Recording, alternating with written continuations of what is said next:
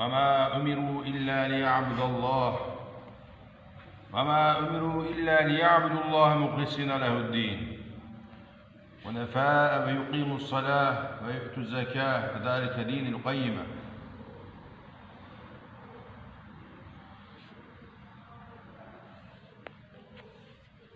Allahu Teala'ya hamdolsun. Peygamberimiz Aleyhisselatü Vesselam'a selatü ve selam olsun. Allahu Teala rahmet üzerimize olsun.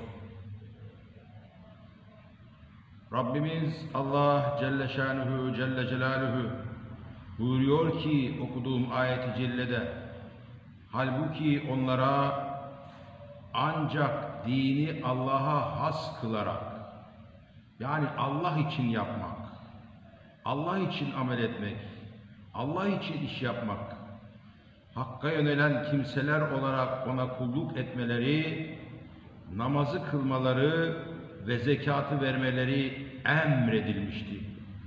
İşte bu dosdoğru dindir. Dosdoğru din işte budur.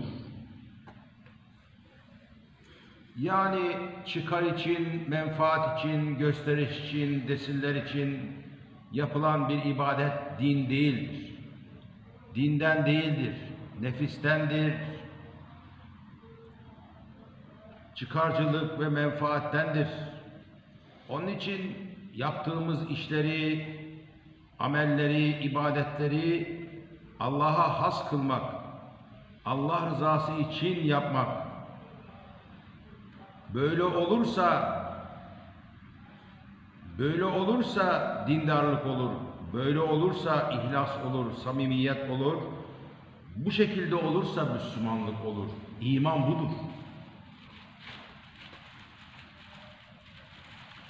Günümüzde maalesef Müslümanlar İslam ve Müslüman olduğu halde, namaz kıldığı halde yalan yanlış işler yapabilmekte. Yani ibadetlerindeki şuur ve amacı kaybetmiş, ibadetlerini muhafaza etmez hale gelmişlerdir. Halbuki Rabbimiz Allah yaptıklarınızı Allah için yapın. Gerçek din ve dindarlık budur buyurmaktadır. Hakka yönelen kimseler olarak ona kulluk etmeleri, Allah'a kulluk etmeleri, dini Allah'a has kılarak ibadet etmeleri, namaz kılmaları ve zekat vermeleri emredilmişti. Ama böyle yapmıyorlar. Ama böyle yapmadılar. Böyle olursa Allah'a has kılarak samimiyet ve rızayı bari gözetilerek yapılan ibadetler işte dosdoğru din budur. Peygamberimiz Aleyhisselatü Vesselam Efendimiz Men ahabbe lillah ve ebgade lillah ve ata lillah ve meta lillah fakat istekmele fakat istekmelel iman buyurmaktadır. Kim Allah için sever, kim men ahabbe lillah, kim Allah için sever, Allah için nefret eder ve ebgade lillah,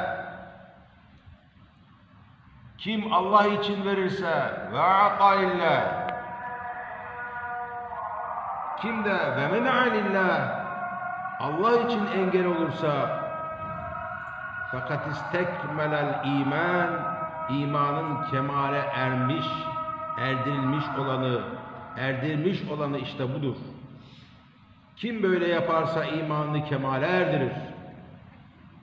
Yani Allah için ibadet edecek, Allah için sevecek, Allah için nefret edecek, Allah'ın sevmediklerini sevmeyecek, Allah için buğz edecek, Allah için verecek verdiğini ve Allah için yanlışa engel olacak. İşte kamil bir iman budur. Buyuruyor Peygamberimiz Aleyhisselatü Vesselam. Biz neredeyiz? Hangi konumdayız? Hangi durumdayız? İşte bu hadis-i şerif bizim nerede olduğumuzu göstermektedir. Bu ayet-i kerime bizim ne olduğumuzu, nasıl olduğumuzu ortaya koymaktadır. Biz hangi yoldayız? Evet, hangi durumdayız? Bu ayet ve hadis bizlere anlatmaktadır ve belirtmektedir.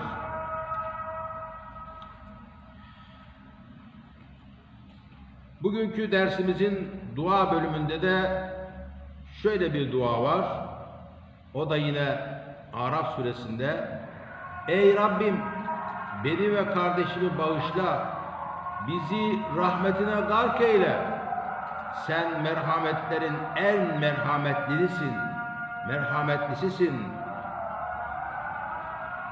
Rabbimiz böyle dua etmemizi dua ayette, ayetinde bu şekilde beyan etmektedir. Beni bağışla, kardeşimi bağışla, rahmet dilenen, rahmet istenilen ve bağışlanma, merhamet hususlarını dile getiren dua ayeti. Bugünün bugünün yine bu sayfada ayet, hadis ve duadan sonra da bugünün fetvası şeklinde fıkhi bölümünde de ise bayram günlerinde oruç tutulur mu diye soru var, cevabı da var. Bayram günleri oruç tutmanın yasak olduğu günlerin başında gelir. Yani orucun yasak olduğu günlerin başında bayram gelir. Ramazan bayramının birinci gününde ve Kurban bayramının dördüncü gününde, dört gününde oruç tutmak mekruhtur, tahrimen harama yakın mekruhtur. Bugünlerde oruç tutmanın hoş karşılanmayıp yasaklanması bayram günlerinin yeme, içme ve sevinç günleri olmasından dolayıdır. Ramazan bayramı bir ay boyunca Allah için tutulan orucun arkasından verilen bir genel iftar ziyafetidir. Ramazan bayramı. Bu hükümdedir. Ve bu anlamdan ötürü de ötürü fıtır bayramı, iftar bayramı denilmektedir. Yani bayram gününde yiyin, için, ikram edin, sevinin bir ay oruçtan sonra. Bu nedenle bayramın, Ramazan bayramının birinci günü harama yakın mekruhtur. Oruç tutmak doğru değildir. Ramazan bayramının ilk günü bir aylık Ramazan orucunun iftarı anlamına gelir. Böyle toplu iftar gününde oruçlu olmak Allah'ın sembolik ziyafetine katılmamak anlamına gelir. Bunun yakışıksız bir davranış olduğu ortadadır. Allah için kurbanların kesildiği kurban bayramında da kurban bayramı günleri ziyafet günleridir. Yani ikram etmenin günleridir. Peygamberimiz sallallahu aleyhi ve sellem Efendimiz teşrik günlerinin yeme içme ve Allah'ı anma günleri olduğunu belirtmiştir. Teşrik günleri yani kurban bayramı günleri yeme içme ve Allah'ı anma günleri olduğundan dolayı kurban bayramının da dört gününde oruç tutmak tahrimen mekruhtur. Efendim bayram etiyle şey kurban etiyle orucu bozacağım. Böyle bir oruç yoktur. Böyle bir oruç yoktur. Kurban bayramı günlerinde oruç tutulmaz. Zaten yarım oruç da olmaz. Yani sa- sahurda niyet edeceğim. E, efendim öğlende kurbanı kestin. Kurban etiyle oruç. Öyle bir oruç yok yani. Zaten kurban bayramı günlerinde oruç. Rabbim bizleri affeylesin. Rabbim bizleri bağışlasın. Dini Allah'a has kılarak ibadet etmeyi ihsan eylesin ve ibadet taat, ibadet ve taatlarımızı kabul eylesin. El Fatiha.